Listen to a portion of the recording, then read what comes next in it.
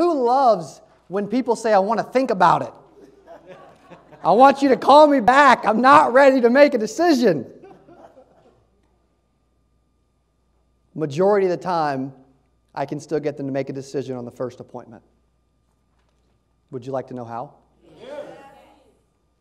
I can save it for later. If... Okay, good. It's called the no callback close. I heard Brian Tracy use it about a decade ago when I first started listening to audiobooks. Like everybody has said, serious people take their profession serious. They learn, they listen, they engross. I mean, they, they know that someone knows what they need to know. So I listened to Brian Tracy's first ever book I ever listened to or read, The Art of Closing the Sale. I would listen to it in my car like crazy. Every CD, all day, every day. And in that book, he talks about how he's going, he's going to all these homes and selling, and everybody's, he's a new salesperson. Everybody's like, I want to think about it. I want you to call me back. I'm not sure. And he's thinking, oh my goodness, I have a gold mine. Everyone's going to call me back at once.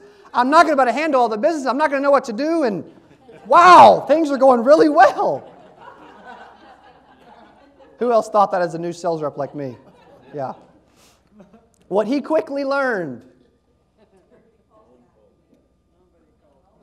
I want to think about it, I want you to call me back, is polite customer speak for goodbye forever. We will never meet again. So, as he did, and, he, and, and what he did was he did this thing called a no callback close. I've used it numerous times, I've trained on it, and heard other people use it with success because it works. There's a non aggressive version and an aggressive version. Are you guys more non aggressive or aggressive, you think? You, you think you're aggressive? We'll find out. Okay. All right. So, the non aggressive version, I was sitting with a, an agent, actually, it was a veteran agent a long time ago. When I was listening to this book and I was using everything and I was trying everything, I'm like, man, I'll, I'll do anything. And we were sitting in a home with Mary in Niangua, Missouri, little bitty town.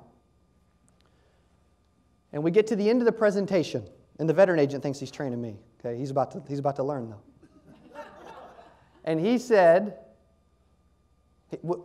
we showed the options.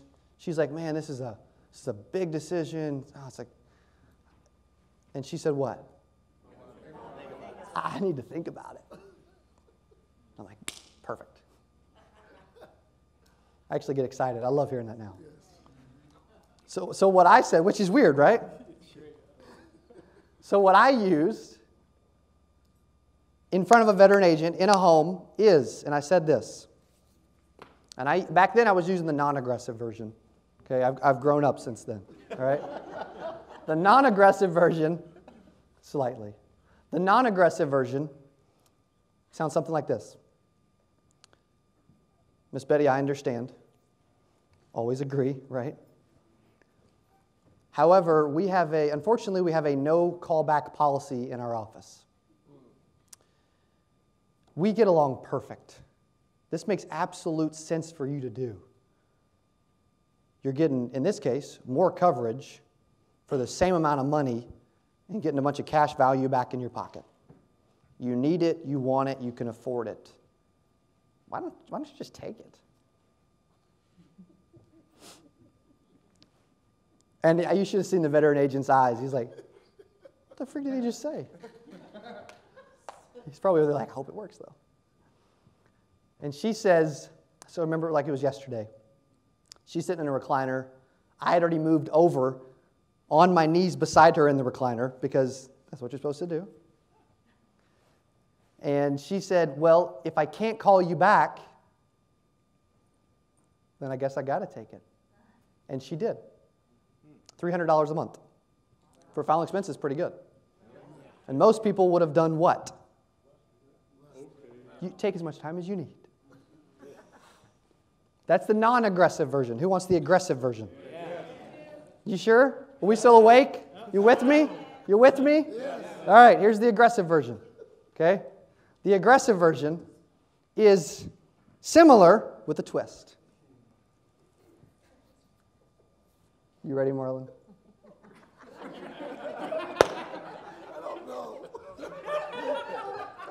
You said, I don't know. you are. All right, so here it is. You ready?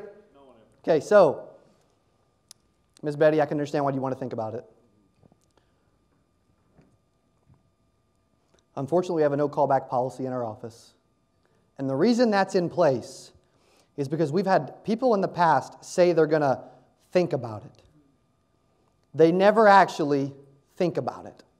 Six months goes by, they pass away while thinking about it. And their family, who do you think their family blames for not helping them make a decision when they should have?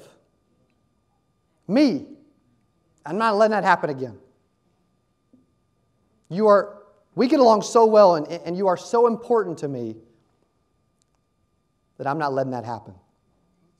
You need it, you want it, you can afford it, it makes absolute perfect sense. I'm going to help you get qualified. What's your full legal name? You like that? Thank you. Hey, who's going to try that? Okay, 12 of us. Who else? All right, aggressive or non aggressive? All right, I like this. It's a, it's a good crowd, okay?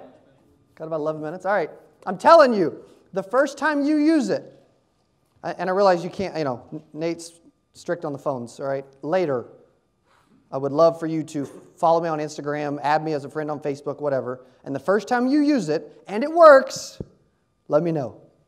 Okay? I would love to hear that because it will. If you use it right, it will. I promise. Another thing I want to talk through real quick is I'm a numbers guy. Who else is a numbers person? Okay, good. Thank you. Who in this room selling insurance made over $100,000 in 2019, all right? And it's, it's okay if you didn't. You're going to this year, okay? Good. So, what's the best way to figure out how to make 100K and to go do it? Learn from someone that is doing it. Okay, good. Good. What I like to do is I like to do the math. I want to know what I need to do to make that a reality. So let, you can do you, you want to do some math together? So that from the rest of the year, you know what to do, and then it's up to you whether you do it or not. It's not on me anymore because you actually know how to go and do it. Okay? So I'm going to use I'm going to use what's the most common number that ever and I already gave it to you, but I'm going to ask anyway. What's the most common number that every new insurance agent wants to make? $100,000. There's no rhyme or reason. Everybody wants to make 100K though, right? I was the same way, so it's okay. So let's use $100,000. We're going to v- divide that by what we feel is the average APV for a final expense policy. Now, I'm going to be conservative, and I have data to back it up. It's about $61 a month. That's $732 per year. So let's divide 100K divided by $732. Somebody do that for me. Should be about 136 or something like that. Oh, I'll, I'll use mine then. Sorry, Nate. Phones are off. There you go. Okay, do do it. Perfect.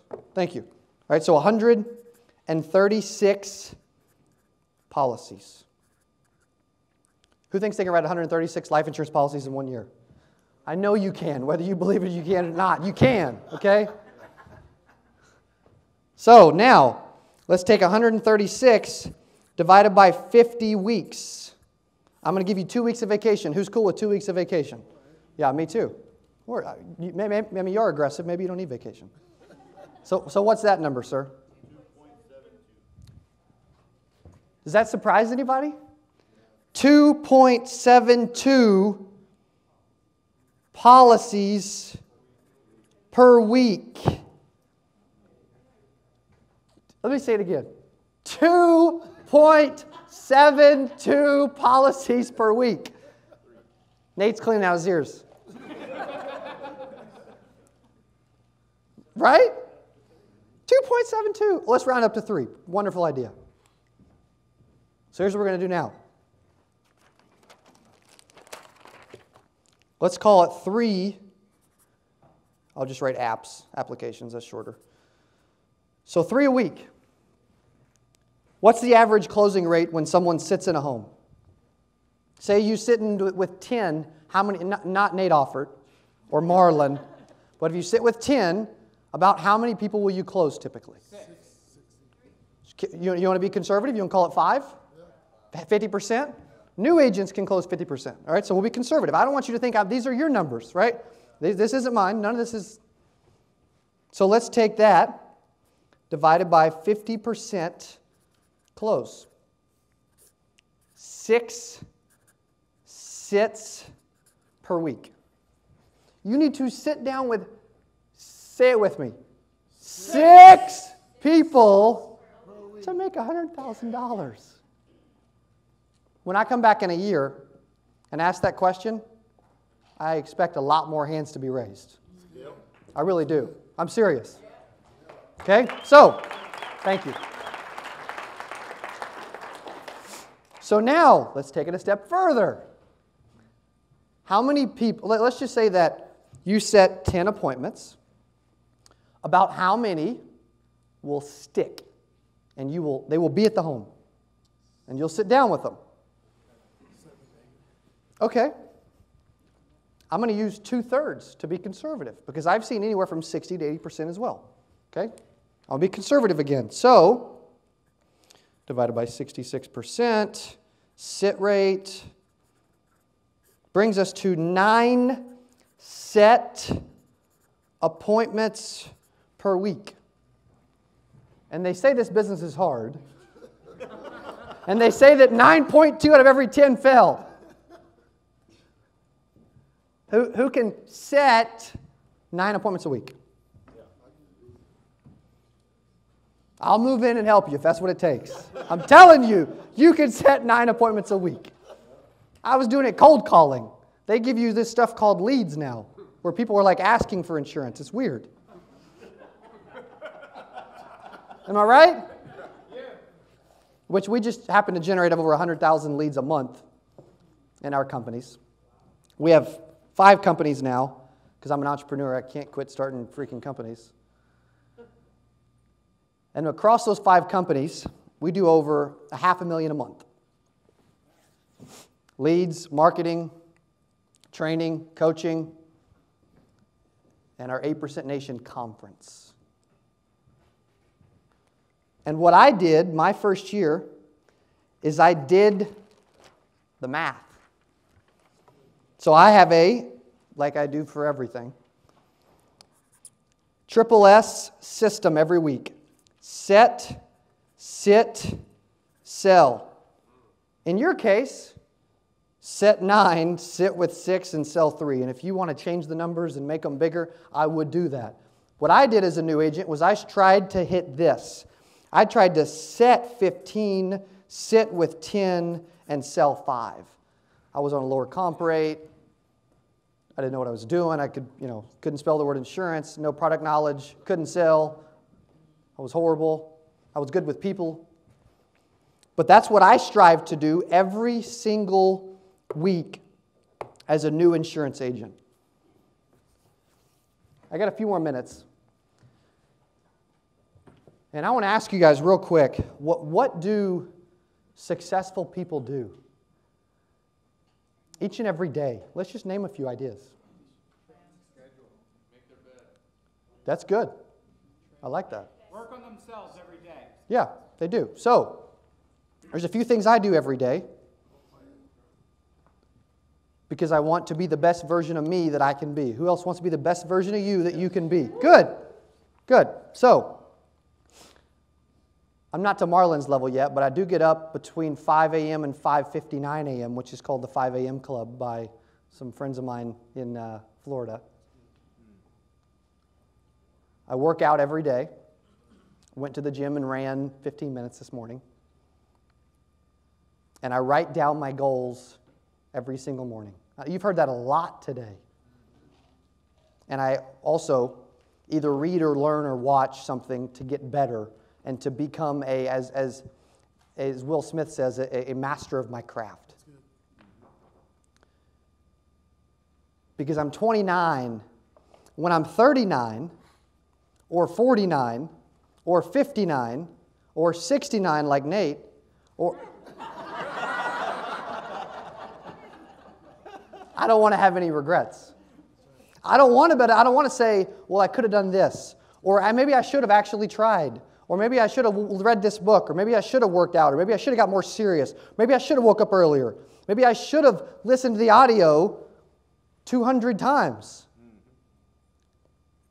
So I want to challenge you to do whatever it takes to succeed. I'm of the mindset that anyone in our industry can succeed. Some will, some won't. So what? I finish it with who's next. Nate's got shuck, shuck or something back there, but some will, some won't. So what? Who's next? A lot of you are talented enough to make $100,000. A lot of you know more about insurance products than I do. But will be, what will be the difference maker between the winners and the losers in this room is some will just take it slightly more serious than others. So I want to challenge you for a second to take it a little more serious in 2020. I believe everyone was meant to do something great. I believe you can and will earn $100,000 in 2020. I do. And if you believe me, let me hear it.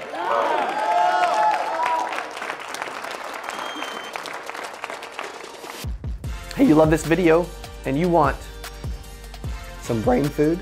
I got five books that every new insurance agent should read. Go watch that. Grab the books. I'll see you over there. When you read a book, when you go to an event, when you listen to a book, when you go to a mastermind, when you buy a university,